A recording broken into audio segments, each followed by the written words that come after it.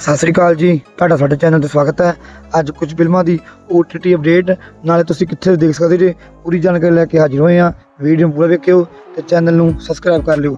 ਗੱਲ ਕਰੀਏ ਕੋਕਾ ਮੂਵੀ ਦੀ ਇਹ ਸਨ 2022 ਚ ਸਿਨੇਮਾ ਘਰਾਂ ਚ ਰਿਲੀਜ਼ ਹੋਈ ਹੈ ਇਸ ਮੂਵੀ ਦੇ ਵਿੱਚ ਗੁਰਨਾਮ ਭੁੱਲਰ, ਨੀਰੂ ਬਾਜਵਾ, ਗੁਰਪ੍ਰੀਤ ਭੰਗੂ, ਰੁਪਿੰਦਰ ਰੂਪੀ ਤੇ ਹੋਰ ਵੀ ਕਈ ਕਲਾਕਾਰ ਨਜ਼ਰ ਆਏ ਨੇ। ਇਸ ਮੂਵੀ ਨੂੰ ਰੁਪਿੰਦਰ ਇੰਦਰਜੀਤ ਵੱਲੋਂ ਲਿਖਿਆ ਗਿਆ ਸੀ। ਇਸ ਮੂਵੀ ਦੇ ਵਿੱਚ ਐਚ ਗੈਪ ਬਾਰੇ ਦਿਖਾਇਆ ਗਿਆ ਸੀ ਕਿ ਕੁੜੀ ਦੀ ਉਮਰ ਵੱਧ ਵਾ ਤੇ ਮੁੰਡੇ ਦੀ ਉਮਰ ਘੱਟ ਵਾ, ਦੋਵਾਂ ਨੂੰ ਪਿਆਰ ਹੁੰਦਾ ਏ, ਫਿਲਮ ਦੀ ਕਹਾਣੀ ਬਹੁਤ ਵਧੀਆ ਮੈਂ ਦੇਖੀ ਹੈ ਇਹ ਮੂਵੀ ਅਜੇ ਤੱਕ OTT ਤੇ ਨਹੀਂ ਆਈ, ਇਸ ਨੂੰ ਆਏ ਨੂੰ 2 ਸਾਲ ਹੋ ਗਏ ਨੇ, ਪਰ ਤੁਸੀਂ ਇਹ ਮੂਵੀ ਸਾਡੇ ਟੈਲੀਗ੍ਰਾਮ ਚੈਨਲ ਤੇ ਜਾ ਕੇ ਦੇਖ ਸਕਦੇ ਜੇ, ਕਿਤੇ ਫ੍ਰੀ ਦੇ ਵਿੱਚ ਤੇ ਪ੍ਰਿੰਟ ਵੀ ਠੀਕ ਠਾਕ ਵਾ।